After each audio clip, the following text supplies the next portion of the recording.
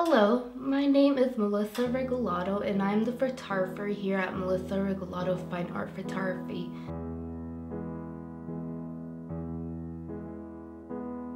I started using photography as a way to express and depict emotions at the age of 15. Fast forward a few years and I knew photography was something that I wanted to do and I decided to go to school for it.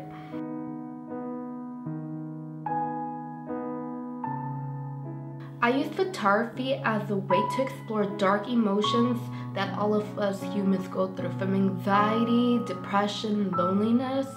It's an outlet for me, but also a way that I can connect to you, the audience, on a much deeper level without me having to say anything.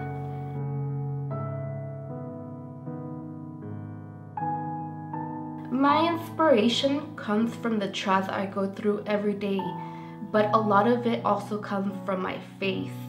I want my viewer to connect to the images that I make and know that it's okay to feel these dark emotions that all of us humans go through, but also know that these emotions are ever changing and they shall pass. So we must not rely on them and trust them.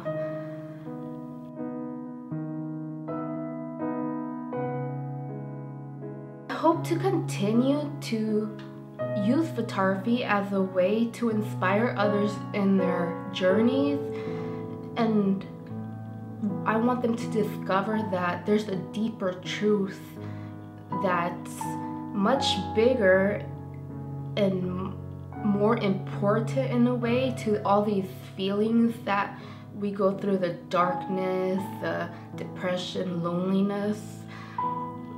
Thank you for taking the time to listen and support. I appreciate it greatly.